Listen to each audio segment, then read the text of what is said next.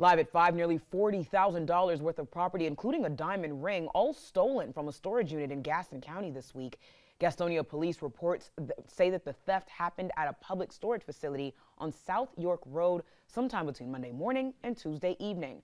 The report says a 3 carat pear cut Tiffany diamond ring set in 16-carat gold was stolen.